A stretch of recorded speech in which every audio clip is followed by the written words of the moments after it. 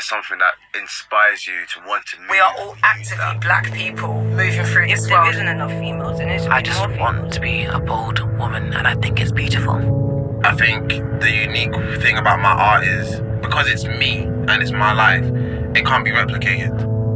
I feel like it's my duty as an artist to shed light to other members of my community and other communities of what's going on right here and how we can maybe fix it.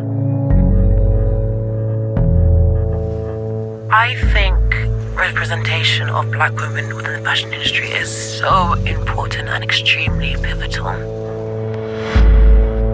Growing up in London when I was younger, there was a lot of, I don't know, maybe stigma of being dark skinned. I would fully encourage any person, specifically black women, to go natural and embrace what has been given to you. It's your birthright to enjoy having your natural hair, and you shouldn't be put into a box.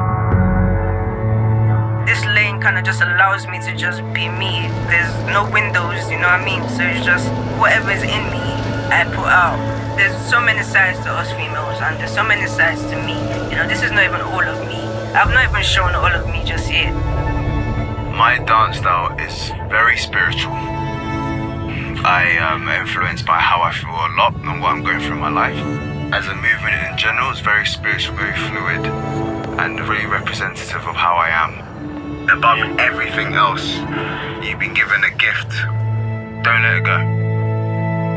we are actively moving through this world in bodies that are enriched with melanin and we are all just trying to do the best that we can with whatever space that we hold you honestly and truly belong in any space that you want to be in i love being a black woman so much i love